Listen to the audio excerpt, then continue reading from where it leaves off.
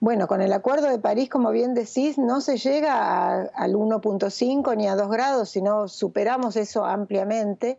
Habría que modificarlo, habría que recalcular un poco las medidas que se habían propuesto para poder alcanzar niveles más aceptables, que el cambio no sea tan intenso.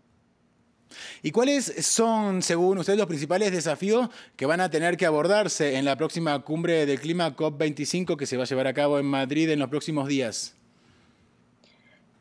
Claramente el apuro que se está planteando, lo que se llama crisis climática, lo que está queriendo mostrar es que no podemos demorarnos más. Esto tiene que eh, decidirse prontamente y tomar medidas de mitigación concretas en todos los países fuertemente eh, para poder bajar estas, las emisiones de gases de efecto invernadero. Creo que la COP25 tiene un desafío fuerte, por suerte hay tanto movimiento mundial que está tratando de impulsar a los gobiernos a que tomen medidas concretas para bajar las emisiones de gases de efecto invernadero.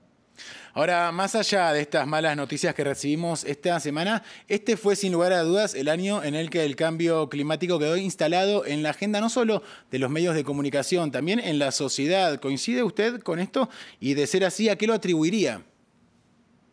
Yo creo que por suerte el cambio climático está instalado en la agenda de, por lo menos en los pueblos. Gracias a Greta, yo creo que el movimiento de Greta y de todos los jóvenes del mundo que la siguen y que entienden cuál es el problema y que reclaman a las autoridades, reclaman con mucha razón. Ellos saben que ellos van a sufrir estos impactos prontamente.